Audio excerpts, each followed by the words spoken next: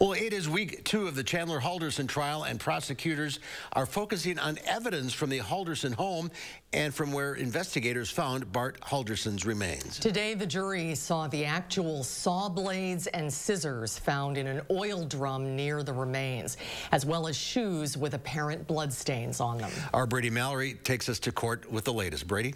Well, today the jury saw a lot of photos and the actual items investigators are using as evidence in this case. At one point, a deputy described the search of the Halderson home where they found the parents' IDs and phones inside of a pair of shoes in the garage.